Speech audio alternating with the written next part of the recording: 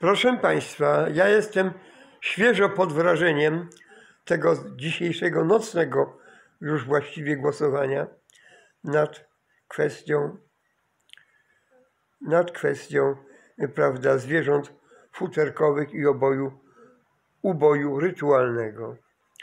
Wygląda, że jednak pozycja pana prezesa Kaczyńskiego no jest trochę zagrożona, troszkę się chwieje. Niektórzy twierdzą, że jest to jego celowa, no nie ustawka, ale jak gdyby zagrywka, żeby wyeliminować i zastra lub zastraszyć mniejszych koalicjantów, zwłaszcza Solidarną Polskę, ale i porozumienie.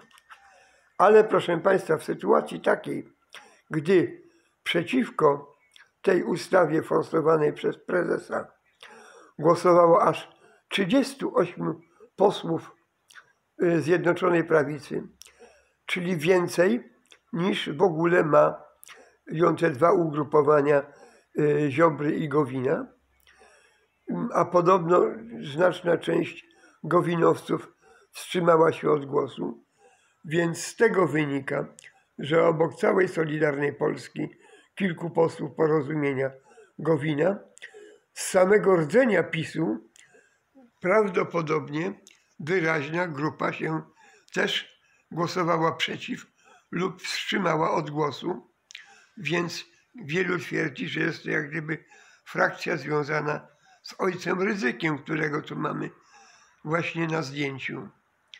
No, a pan Kaczyński straszył, że przeprowadzi nowe wybory, prawda, żeby wyeliminować tych niesolidnych sojuszników, prawda, mniejszych koalicjantów.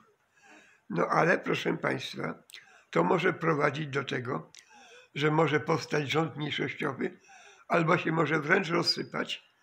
Tym bardziej przecież, że dwóch ministrów, Ziobro i Ardanowski, podobność głosowali przeciwko, przeciwko tej ustawie, a ustawę o tą tak zwaną bezkarnościową PiS w ogóle musiał dzisiaj wycofać. Czyli jednak yy, ojciec dyrektor się nie daje i ma dość mocne wpływy i to może zaważyć na tym przy działaniu Ziobry, przy działaniach Ziobry, że rząd może lada chwila upaść albo stać się rządem mniejszościowym, a co się stanie w Senacie, to zobaczymy, bo jakkolwiek yy, lewica,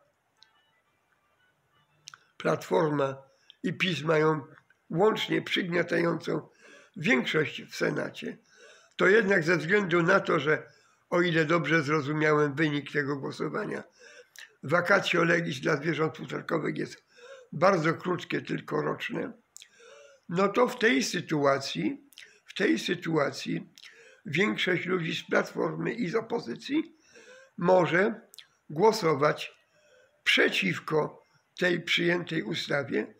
Dlatego sytuacja w Senacie też jest niejasna i może nie być zatwierdzona ta ustawa przez Senat, a na dodatek przecież musi ją jeszcze podpisać, podpisać prezydent.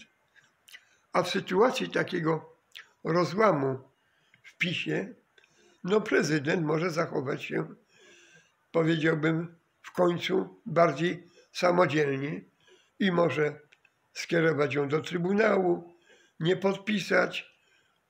Yy, no więc różne są yy, możliwości, a odrzucenie, gdyby było weta prezydenta, no to proszę Państwa, wtedy odrzucenie przez rdzeń PiSu będzie ciężkie, chyba żeby opozycja Platformy i y, Lewicy chciała tutaj PiSowi pomóc, bojąc się y, przedterminowych wyborów, ale z drugiej strony jest to dla opozycji okazja do uwalenia rządu, prawda, y, pisowskiego. No więc sytuacja polityczna staje się bardzo ciekawa. Do tej pory niekwestionowana pozycja prezesa staje się dość wątpliwa, a Ziobro no, ma zdecydowane stanowisko przy poparciu ojca dyrektora. No więc ciekawe, jak to się skończy. Z dnia na dzień, z minuty na minutę niemalże sytuacja w Polsce i w świecie się komplikuje i zaostrza, bo na przykład niby są zamknięte granice Białorusi z Litwą i Polską, choć to niby zadeklarował Łukaszenka, ale nie bardzo wprowadził. Tak samo są blokady na granicy białorusko-ukraińskiej. Tutaj Unia zaostrza bardzo kryteria klimatyczne, co bardzo uderzy w polską gospodarkę. Górnicy się denerwują, że jak były wybory, to im obiecywano, prawda, złote góry, a teraz się dąży do zamykania kopalń i uwalenia górnictwa. No a i w świecie napięcia y, amerykańsko-chińskie, amerykańsko-rosyjskie, sytuacja na Bliskim Wschodzie, etc., etc.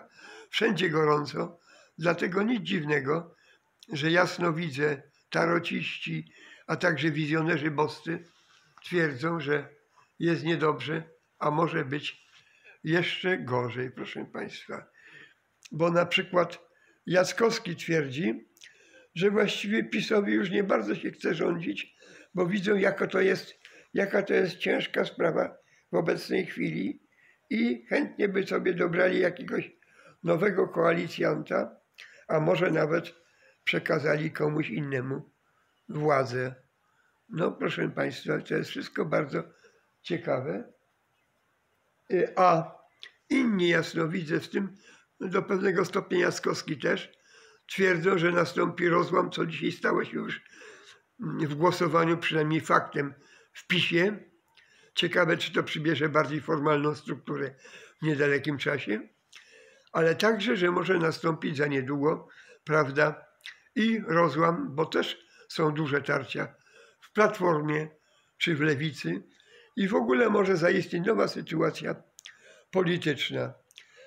Ale wobec odrzucenia, a czyli wycofania ustawy bezkarnościowej dla urzędników, no to sytuacja staje się jeszcze bardziej napięta i problematyczna. Tak samo y, Konfederacja i niektórzy protestują przeciwko tej umowie, którą podpisał rząd z Amerykanami na temat no, finansowania przez nas pobytu ich wojsk i, i warunków, na jakich to będzie.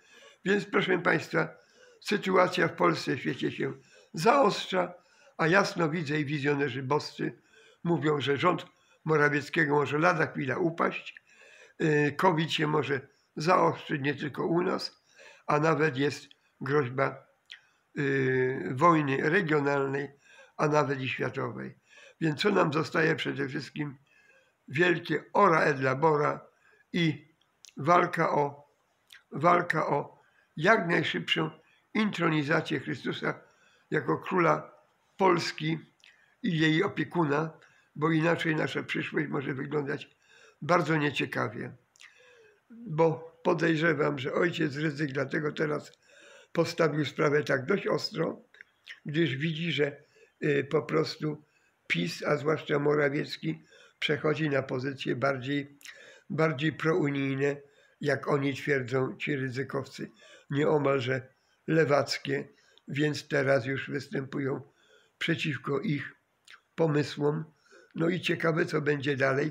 Czy był to tylko incydent, to dzisiejsze nocne głosowanie i sytuacja powoli zacznie wracać do normy, prezes to jakoś spróbuje y, uspokoić, czy dojdzie już jak gdyby do nowego układu sił w Sejmie i w polskiej polityce, bo gdyby powstał jakiś taki obóz, Konfederacja, Solidarna Polska, y, część y, dysydentów z rdzenia PiSu, y, może i z porozumienia Gowina, a także z PSL-u, no to wtedy sytuacja polityczna w Polsce się zupełnie zmienia i rząd może być mniejszościowy albo nawet upaść, albo nie mieć możliwości pełnego rządzenia.